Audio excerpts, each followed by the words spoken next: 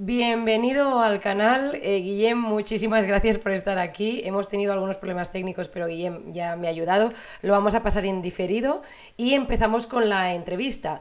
Eh, primero de todo, quiero decir que mi intención es hacer un apartado de entrevistas en el canal de YouTube eh, que tenga que ver ya no simplemente para presentar o conocer un poco más las personas que están detrás del youtuber, ¿no? sino para entrar un poco más en lo que sería ver las caras de, la gente que está detrás de, los ecosistemas, ¿no? Pues sean desarrolladores, eh, sean validadores, eh, sean especialistas en alguna blockchain. Y en el caso de Guillem, pues empezamos hoy con él, eh, porque me parece que es un perfil que además es muy autodidacta, es emprendedor y creo que es una es una buena figura para mostrar como referente de cómo empieza alguien que tiene pues curiosidad para, este eh, ecosistema, bueno, para las inversiones y llega pues a, desarrollarse como inversor y otras cosas que nos explicará hoy en la entrevista. Así que Guillem, bienvenido y bueno, eh, ¿cómo estás? ¿Todo bien? Sí, todo bien, todo bien. Ha habido, ha habido problemillas, pero cosas que, que yo ya he vivido antes en el OBS, así que Em, buenos recuerdos. Bien, primero de todo, por favor, eh, cuéntanos un poco eh, quién es Guillem Farré, ah, cómo le surge la curiosidad de empezar en este mundo y cómo surge CryptoBoy, eh, cómo llegamos al día de hoy. Vale, lo de CryptoBoy es, curioso. yo soy de Barcelona, ahora mismo estoy viviendo en Madrid y empecé con el mundo de las cripto ya, ya era 2018 finales de 2018 y empecé como varios de, bueno, como varias gente, ¿no? Eh, criticando el ecosistema. Yo era de los que decía que Bitcoin era una estafa, que no servía para nada, que, bueno, todo lo que... No me, lo creo, Te lo juro, te lo juro. O sea, todo lo que hemos escuchado em, varias veces de mucha gente de nuestro alrededor, pues yo empecé así, ¿no? Porque no conocí nada, justo era cuando Bitcoin pasó de 20.000 a 6.000 más o menos era esa época, claro, el último mercado bajista sin contar este, y yo pues replicaba lo que veía en la tele. Y luego pues vino un amigo de la universidad, me dijo esto del Bitcoin, tal, no sé qué, lo rechacé por completo, o sea, dije que esto era una mierda, y a cabo de unos meses me vino otro colega, me comentó un poco más, pero me di cuenta de que había cosas distintas que no, que no era lo que yo había leído o que me generaban curiosidad. Ese, eso fue en noviembre más o menos de 2018 y entonces pues empecé a investigar por mi cuenta. Claro, en ese momento eh, información en español había muy poca, no había tantos portales de noticias, no había tanta información. Sí que en inglés, pero no tanta en general. Pero empecé a investigar un poco sobre lo que era Bitcoin, blockchain, Ethereum y flipé. O sea, realmente yo siempre cuento la historia de que se me iluminaron los ojos, se me dilataron las pupilas y dije, esto es una puta mina de oro. Ya no solo por el dinero que se podía hacer, porque nadie está hablando de esas monedas, de esos criptoactivos, sino por el cambio que podía traer la tecnología blockchain a muchos ecosistemas, o sea, a muchos sectores en, concreto. Y no paré, no paré, no paré, no paré, hasta, hasta día de hoy. O sea, aún sigo formándome en el sector y la, ya te digo, la gran mayoría, como bien has dicho antes, a lo mejor el 90-95% de lo que sé es, ha sido de forma autodidacta. Simplemente yo mismo, buscando mi información, informándome de distintos sitios y luego ya sí que hay varias cosas que pues, he pagado ciertas formaciones y ya pues, eh, y la verdad que súper contento.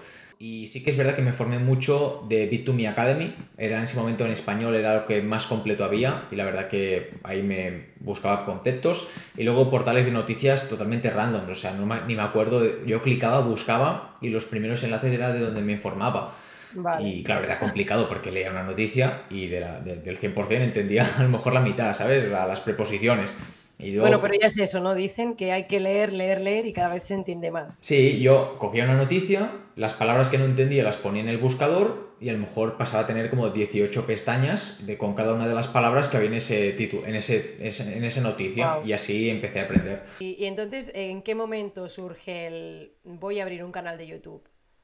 Eh, yo de pequeño ya intenté ser youtuber, eh, intenté ser el, el, futuro Willy Rex, ¿no? Eh, subiendo vídeos de Call of Duty. de, qué año, de, qué, año eres? ¿no? hace tanto que está YouTube, ¿no? Bueno, no, yo, yo soy del 98, o sea, yo tengo 24 años y yo a lo mejor con 14, 13 años o algo así, o incluso menos, te diría, em, intenté ser youtuber. No pude y bueno, al final pues Esto es como el que lo recuerdo y digo, hostia, pues mira al final dónde, dónde he llegado, ¿no? Eh, mucha gente me preguntaba, pues a través de, de, Instagram o colegas míos sobre el sector, y dije, joder, es que se me da bien coger la información que la gente no entiende, sintetizarla y explicarla de una forma sencilla, porque todo el mundo me entendía cuando hablaba.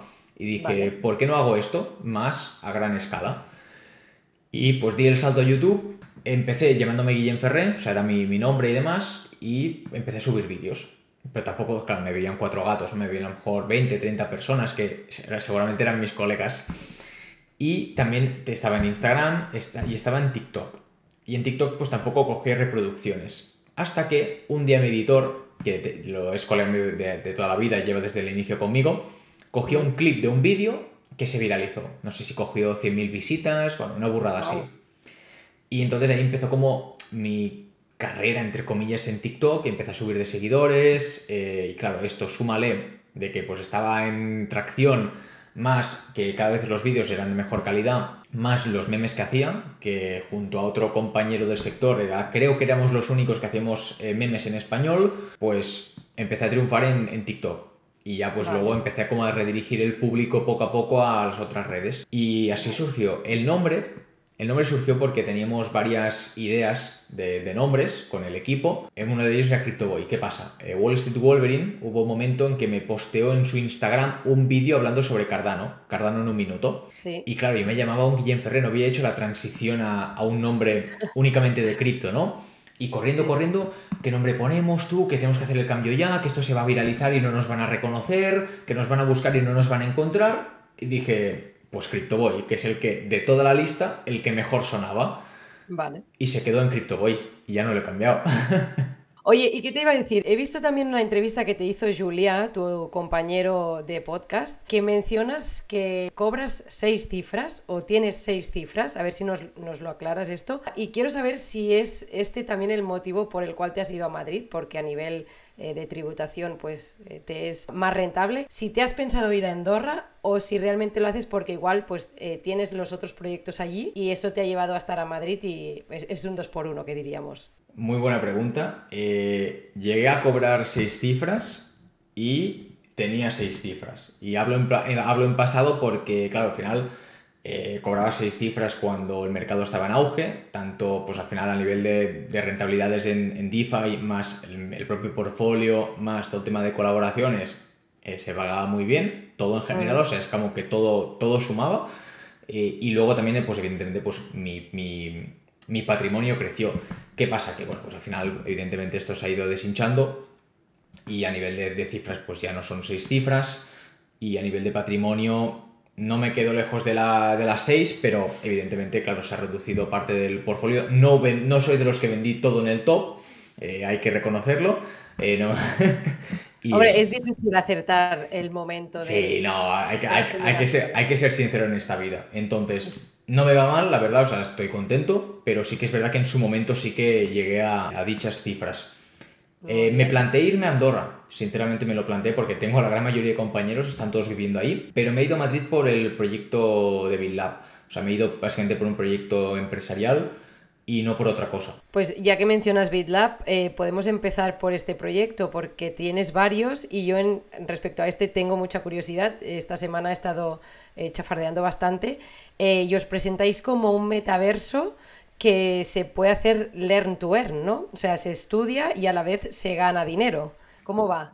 Correcto, mira, BitLab al final es una empresa de desarrollo tecnológico, el cual tiene varias ramas dentro de, la propia empresa. La primera es la parte de consultoría, ya que pues, ofrecemos consultoría a cualquier, a cualquier empresa y entidad pública y privada para ofrecer servicios y soluciones vinculadas a blockchain o inteligencia artificial o realidad aumentada, ya que uno de nuestros o sea, uno de nuestros copropietarios es Nexio, Labs, que es una desarrolladora española, que son los que han desarrollado, por ejemplo, Outer Ring, que a la gran mayoría eh, seguro que os va a sonar. Videojuego, ¿no? Correcto, correcto. Pero bueno, son los desarrolladores que hay detrás de, de Outer Ring. Luego también tenemos la parte de, certificación blockchain que estamos en desarrollo. Al final hay que entender que somos una startup y bueno, pues estamos ahí, aún no, estamos construyendo lo que serían las distintas ramas, algunas de ellas. Y la certificación blockchain en el sector educativo, es decir, que cualquier entidad, ya sea pública o privada, de formación interna o formación externa, pueda emitir las certificaciones educativas de sus alumnos, no únicamente en un papelito, sino a través de blockchain, por lo que queda ahí registrado y se puede ver en cualquier momento de forma inmutable eh, las notas y las especificaciones de cada uno de los alumnos para garantizar a la hora de que tú seas una empresa, vayas a ver el currículum de dicha persona, puedas corroborar que ha hecho la formación y que ha obtenido las notas que esa persona dice, ¿no? Evitar la falsificación, al fin y al cabo. Y además esto ahorra costes, ahorra tiempo y también a nivel de cuando tú te quieres como ir fuera de a un país para que te convaliden las asignaturas y el tema de títulos, es mucho más fácil de trasladar esa información, ¿no? Y luego también tenemos una, una rama formativa, que es la que estamos enfocados ahora mismo, eh, rama formativa no especulativa, o sea, no tocamos la especulación, sino que es formación enfocada a crear empleo en el sector. Nos hemos dado cuenta, y yo sobre todo hablando con, varias empresas, de que hay una falta de, de, talento y de conocimiento. Es decir, gente que a lo mejor tiene el talento para hacer una actividad, pero no conoce nada del mundo blockchain. Por tanto, es complicado. O tiene una, una fase difícil de aprendizaje, ¿no? una, curva, una curva alta de aprendizaje. Y luego hay gente que a lo mejor tiene el conocimiento, pero no tiene el talento. Pues nosotros lo que hacemos es con estas formaciones que estamos desarrollando, con profesores especializados en, cada materia, dar esa formación completa al usuario para que pueda empezar a trabajar en el sector. Lo que se dice que tengan currocoin. Vale, ¿y qué va? ¿Por cursos trimestrales, cursos únicos o son cursos como los que estamos acostumbrados a ver eh, cómo funciona el colegio? ¿Como carrera o como es un, es un mixto, es decir, combinamos la parte offline con la parte online. No es únicamente, oye, tienes vídeos y te los miras, sino que son con exámenes, exámenes en vivo y prácticas individuales y grupales. Es decir, que hay un, hay un desbloqueo continuo, como si fuera un, colegio, ¿no? Que pues, cada trimestre o cada mes tienes una serie de asignaturas. Sobre todo estamos enfocados mucho a traer esto al B2G, es decir, a universidades privadas y públicas, a gobiernos. Eh, por ejemplo, estamos incubados por la Juan Carlos I y ya estamos trabajando para, bueno, no diré mucho, pero estamos trabajando para el año que viene ya traer esto a, en, en ciertas entidades y, ciertas, ciertos sitios públicos y privados de España y y de Latinoamérica. Y entonces vuestro objetivo es dar esta formación y luego tenéis como una bolsa de trabajo, o sea, tenéis como la conexión con empresas que buscan eh, personal para directamente enviarlos allí, hacer entrevistas y que, por ejemplo, se queden con el trabajo. Exacto, igual que una universidad. O sea, en una universidad tú tienes una bolsa de empleo donde las empresas que tenemos como, bueno, como partners, como colaboradores y que también son empresas de los profesores que están impartiendo eh, las clases formativas, puedan poner sus puestos de trabajo, los cuales están, oye, estamos buscando un community manager, oye, estamos buscando un diseñador, un programador, que lo puedan poner ahí y que los alumnos puedan aplicar y empezar a trabajar, como en la universidad o un grado superior. Oye, es muy prometedor esto, ¿no? Sí, sí, no. A ver, eh, tenemos muchísimo trabajo y hostias, pero muy contentos y creemos que es algo que, claro, no no nos enfocamos al B2C, o sea, no nos enfocamos al retail directamente, al fin y al cabo el cliente final acaba siendo un, usuario normal y corriente, o sea, un usuario de a pie, ¿no? Pero queremos adentrarnos mucho y trabajar mucho conjuntamente con las universidades y los gobiernos de, de cada uno de los países o comunidades autónomas. También es una vía de entrada muy directa. Sí, total. Pero ¿crees que ahora mismo en el contexto que estamos como sociedad es un producto no quiero decir fácil de convencer, ¿eh? porque creo que no hay que convencer, simplemente es otra gestión o modo de estudio, ¿no?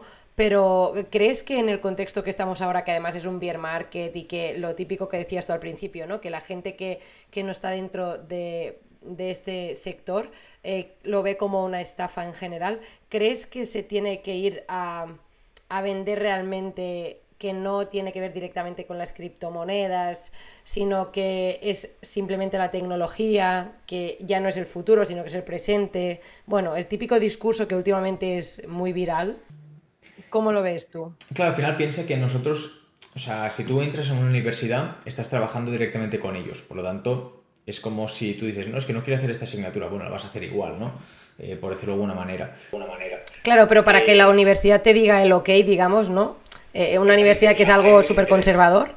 Hay, más interés de lo que parece. Eh, yo, yo, pensaba que no. O sea, realmente pensaba que estaban muy anticuadas y hay varias universidades, gobiernos, empresas, en general, tanto aquí en España como en Latinoamérica, que están empezando y que están adaptando sus eh, servicios y productos o su empresa en general y están dándole soluciones eh, basadas en blockchain o realidad aumentada, realidad virtual y esta serie de tecnologías. Pero claro, esto al final no sale en las noticias y lo descubres cuando te pones a hablar con, con, con estas entidades, ¿no? Además de que el beer market, y sí que es verdad que afecta, que eso no, porque todos tenemos ahora la imagen de FTX, de Luna, de Bitcoin, todo, ¿no? Hay que entender lo que bien has dicho tú, que aquí no tocamos la parte especulativa. O sea, sí que es verdad que hay otro tipo de formaciones que tocan la especulación y me parece perfecto, yo las apoyo completamente, pero aquí únicamente se toca la tecnología y el generar empleo, que a día de hoy, evidentemente, sí que es verdad que hay muchas empresas que cierran, como en toda crisis, esto aquí y en, y en la bolsa tradicional pero también hay muchas otras que están surgiendo o que están ampliando equipo porque han hecho un buen trabajo durante, durante estos últimos años. Entonces, están, hay una gran demanda, eh, principalmente de desarrolladores, eso es evidente, pero también de otros, de otros campos. Porque yo he hablado con gente y me dicen, mira, sí, hay muchos community managers, pero es que ninguno cumple los requisitos, todos son, o sea, no saben hacer el trabajo. O sea, falta esa formación de cómo hacer un trabajo bien hecho.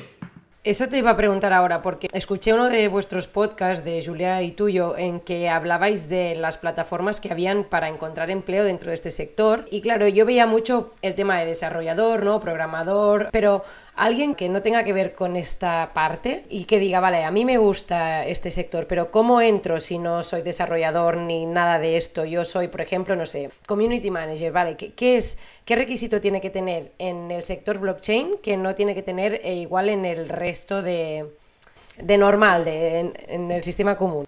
Principalmente, la, gran diferencia es que tú tienes que saber en qué sector estás trabajando.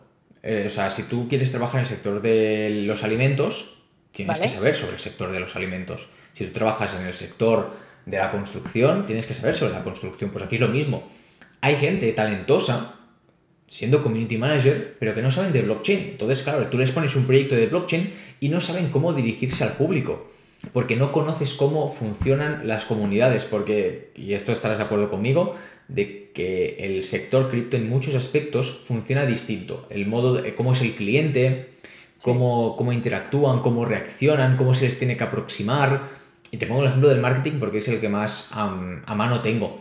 Pues que igual que en los otros sectores, si tú coges la forma de marketing de un sector de, por ejemplo, el de las colonias y te vas a hacer marketing para un dentista, claro, es una te tienes que es distinto la metodología primero diríamos, la materia, ¿no? El concepto básico de lo que se dedica a la empresa, hay que tenerlo claro. Aparte, el tema de la blockchain, todo lo que hay dentro también.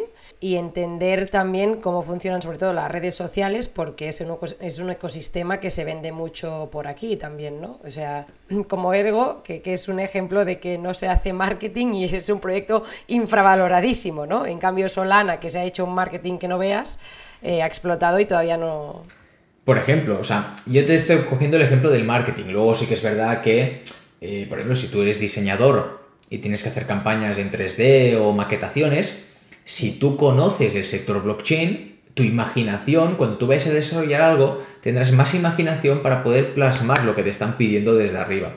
Entonces, es importante conocer el sector, que es el problema principal de, de mucha gente, que sí que tienen el talento, pero luego no tienen el conocimiento.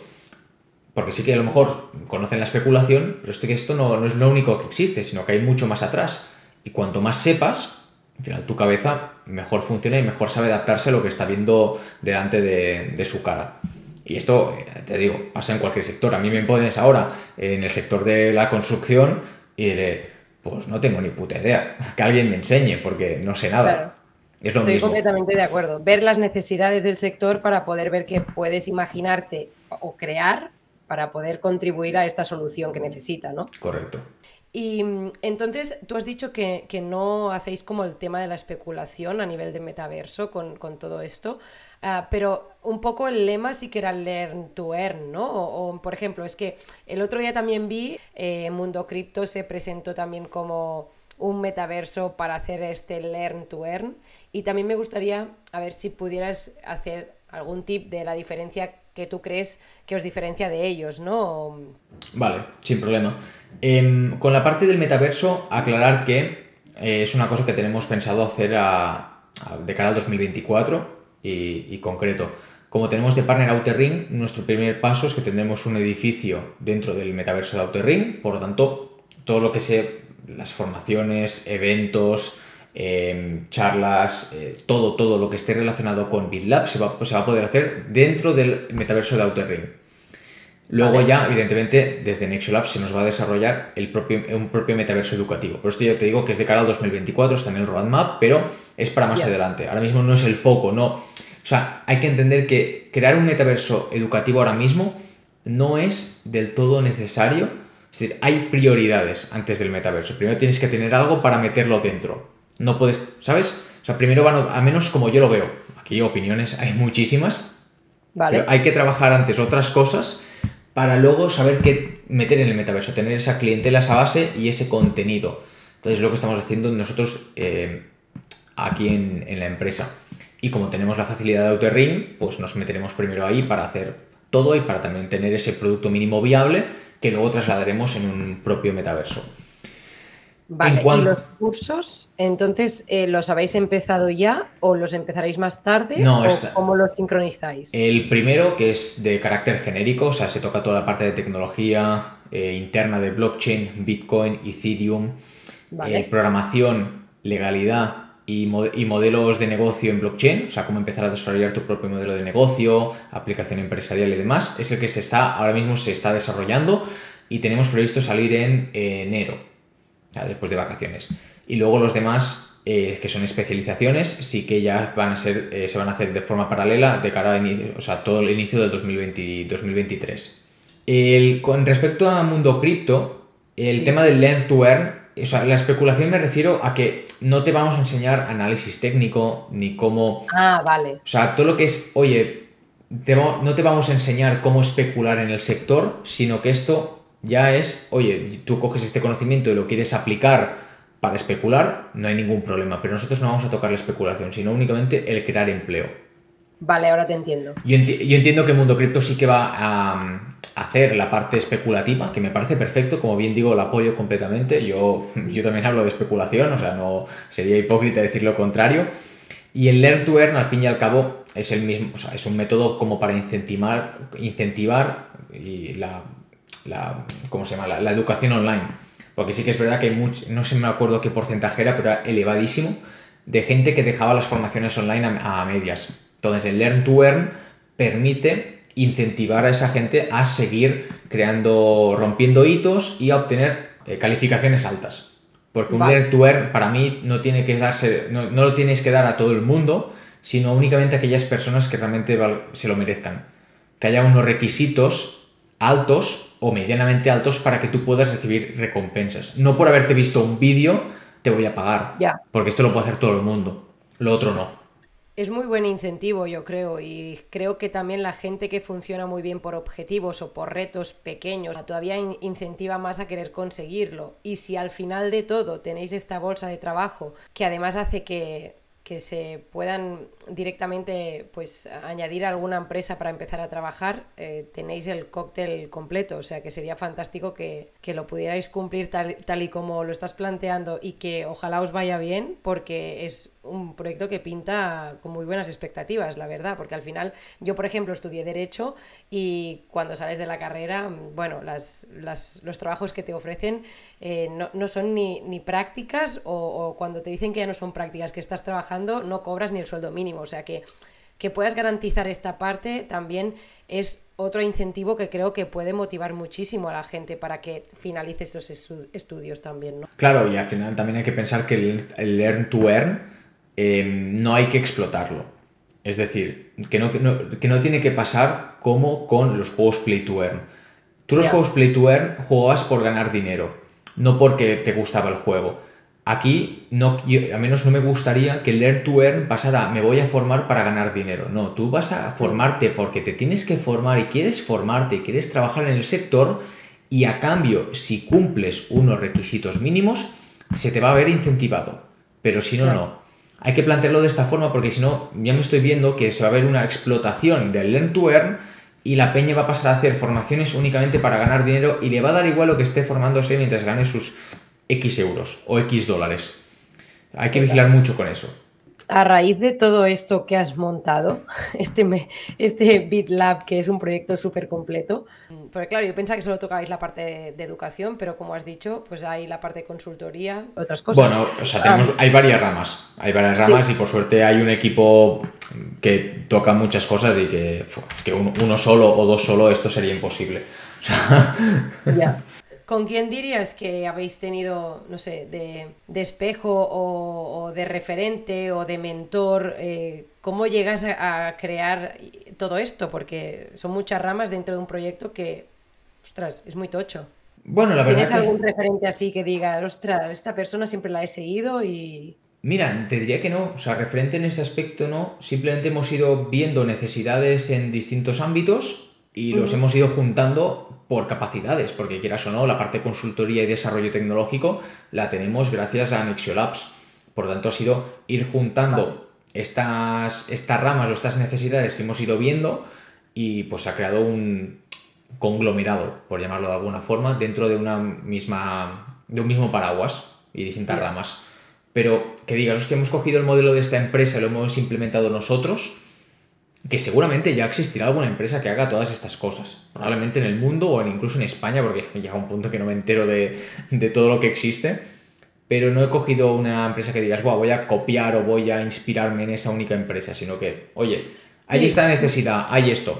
Y también te digo no que... lo digo por copiar, ¿eh? no, no, no, mira, eh, yo qué sé, como si me dices... sí, no, puede que ahora mismo no haya tantas, pero que llegará un punto en que todas o gran parte se van a pasar a este modelo de negocio o similar y también aclarar que esto es una startup, es decir, empezó con una idea, ha, pasado, o sea, empezó de una idea y ha acabado en otra. O sea, es un cambio, o sea, ha, hecho, ha habido muchos cambios internos, muchos cambios de eh, ideas, de planteamientos, y los va a seguir habiendo. O sea, hay que entender que ahora mismo yo te puedo decir, vamos a hacer esto, vamos a enfocarnos en tal, y puede que de aquí unos meses volvamos a hablar, te cuente y me dirás, porque Jem, tú no me Y digo, ya, es que mm, han pasado cosas al final es una cosa que nos vamos adaptando según lo que vamos viendo y según lo que el mercado nos va, nos va, nos va contestando. ¿Tienes otros proyectos aparte de BitLab? No porque me parezca poco este, ¿eh? pero también he visto algo de merchandising, el canal de YouTube, no sé si hay más cosas. Eh, bueno, principalmente eh, ahora mismo mi foco principal está en BitLab y a la par un poco en paralelo con mis redes sociales, que las quiero seguir manteniendo, tanto YouTube, TikTok, Instagram. Y luego sí que es verdad que tengo la marca de ropa. Ahora mismo nos queda poco, poco stock. O sea, estamos ya a punto de liquidar todo lo que nos queda. Y eh, mi idea es seguir con la marca de ropa, hacer algunos diseños y menos que los que tenía, sino más diseños, o sea, pocos diseños y darle un poco la, la vuelta, porque hemos tenido muy buen feedback de la comunidad, pero tenerlo como algo residual.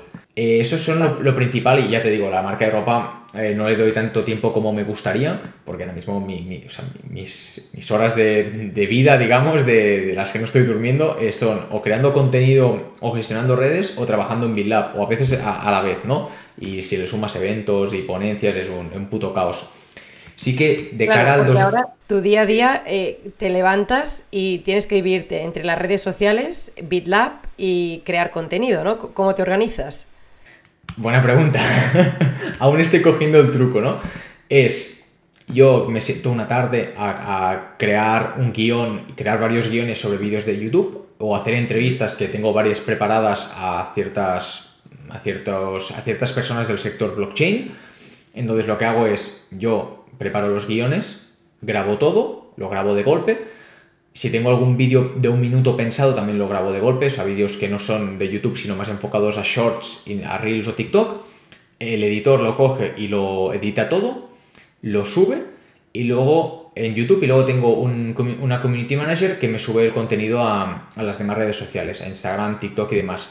Porque me di cuenta de que yo muchas veces tenía tantas cosas o tenía compromisos que no me permitían estar pendiente de subir las cosas. Mi editor antes lo único que hacía era YouTube. Ahora hace, me edita todo lo de YouTube y me hace los cortes para, Instagram, TikTok, o sea, me, lo edita, me lo trocea todo para todo. Y luego tengo una persona que me lo sube. Porque es que no, o sea, te lo juro, tenía incluso con alarmas, o porque claro, estoy en medio de una reunión, no puedo decirle, oye, espera que tengo que subir un vídeo. Claro. Eh, o no tengo cobertura. Entonces tengo una persona que se encarga de esto, está todo bien marcado y así es como me, organizo. Y dejo el contenido ya grabado para varias semanas, incluso en TikTok y demás, para varios meses, y de esta forma puedo ir más tranquilo y con, y bueno, con más tiempo. Vale. Y aprovechar contenido de YouTube para TikTok, por ejemplo. Siempre, siempre hay que reciclar. Aquí eh, una cosa que también aprendí de muchos del sector es a reciclar contenido y de lo que me ha salvado. Vale, Guillem, si te parece, eh, vamos con unas preguntas que he hecho, un apartado de preguntas comunes que haré a todos los que entreviste, ¿vale? y haré un poco de broncano en Movistar, en la resistencia, ¿vale? La primera sería, ¿cuánto dinero tienes en el banco o cuánto dinero te da YouTube al mes? Puedes no responder, pero si no respondes tienes que hacer un símil, como por ejemplo dijo Piqué, que tenía más patrimonio que lo que tenía el español, ¿no? Pues esto. Mira, te diré que YouTube me da para comprar pipas ahora mismo. O sea, al final no de YouTube no se vive, eh, a no ser que seas americano o tengas muchos seguidores, que no es mi caso. Y luego en el banco te diré que tengo, mira, te diría que menos de 10.000 euros. Porque diríamos que lo tenemos invertido en la startup. Sí, y en, bueno, en otras cosas, pero lo que es en el banco, la verdad que tengo lo justo. Buena respuesta, has contestado. Pensaba que no, lo harías. Em, blockchains, criptos, tokens eh, favoritas. A ver, mis preferidas son Bitcoin, Ethereum, mamá y papá, evidentemente. Y luego, como bien ya dije en un vídeo, eh, blockchains y por tanto criptomonedas conjuntas que me, gustan mucho es Binance BNB.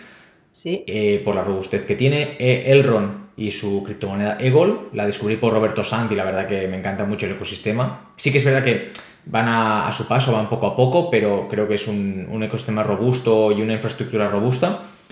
Luego te diría Polkadot y Cosmos. Van un poco de la mano, son bastante similares en cuanto a objetivo. Sí que es verdad que lo que hay internamente, cómo están gestionadas y demás, no tienen nada que ver, al menos desde mi punto de vista, pero me gustan mucho y desde hace ya tiempo. Y luego, como bien dije, a proyecto que me flipa, bueno, que me flipa, que sí, pero que digo, Puente Olambo, es la frase, es Outer Ring. Porque mucha gente se queja de que ha habido un retraso en el juego, que se han retrasado un año, pero cuando tú sabes los motivos y vas y ves lo que están haciendo por detrás, ven cómo están construyendo, te van contando cosas, te das cuenta de qué potencial tiene. Que luego puede pasar puede pasar de todo, ya sabemos cómo es el mercado y cómo son estas cosas, pero cuando tú lo ves desde dentro dices, mmm, me gusta, me gusta lo que estoy viendo, lo que me están contando.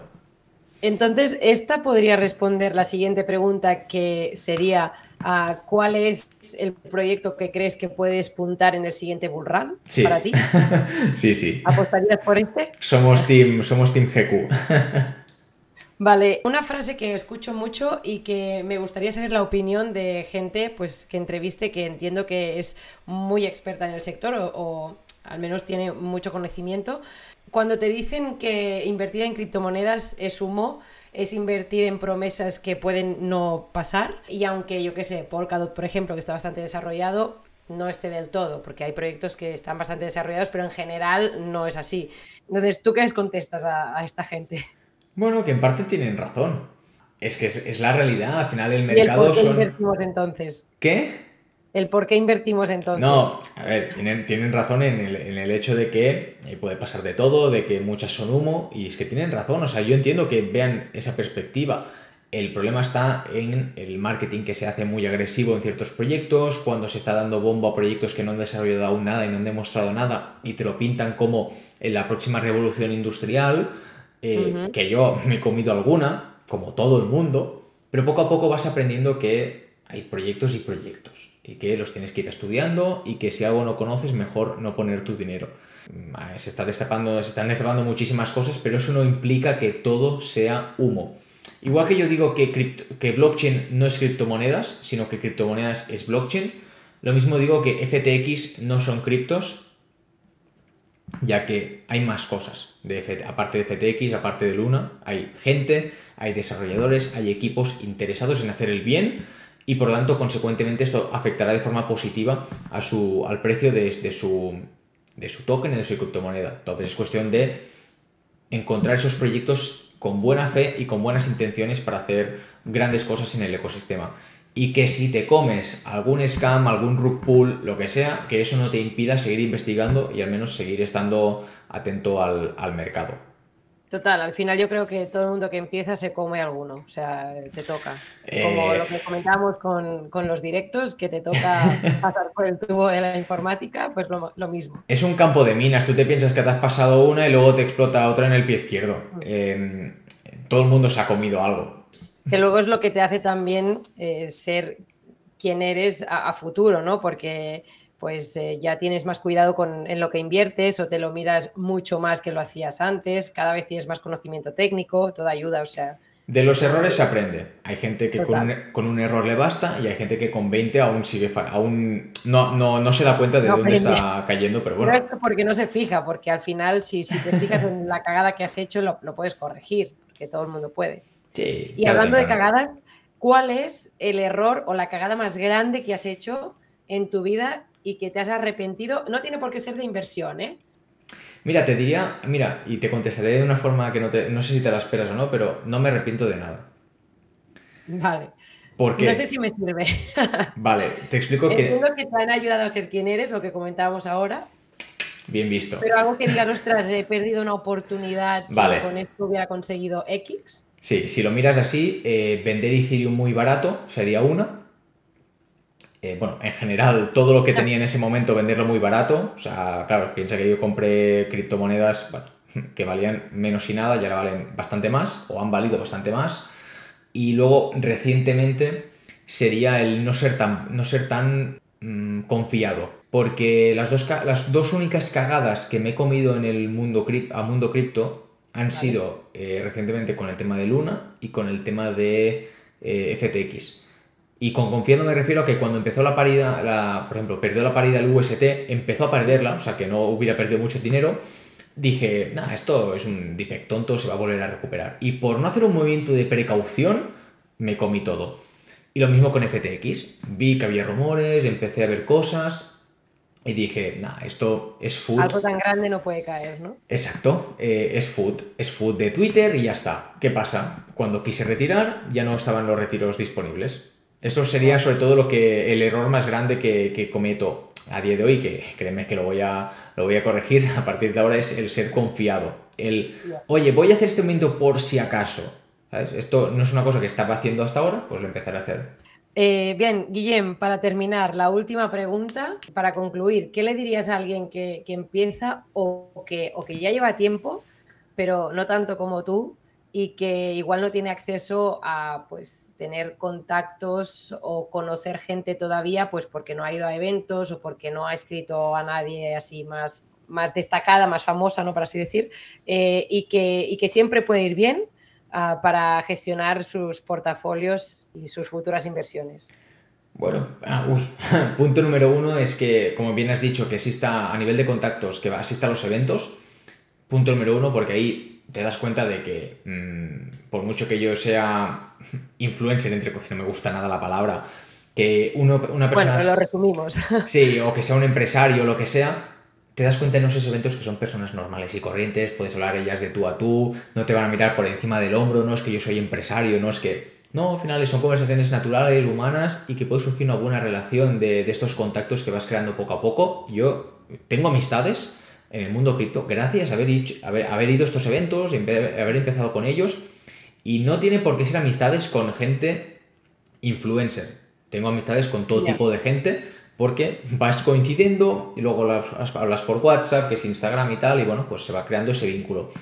Y a nivel de creación del portfolio, todos cometemos errores, es cuestión de, de ser, o sea, de que no te pueda la adrenalina, de que no te pueda el, el ansia de hacer dinero, que es algo que a todos, por desgracia, nos ha podido en algún momento de nuestra vida, y que no tengas miedo no- o el hecho de, hostia, he palmado pasta.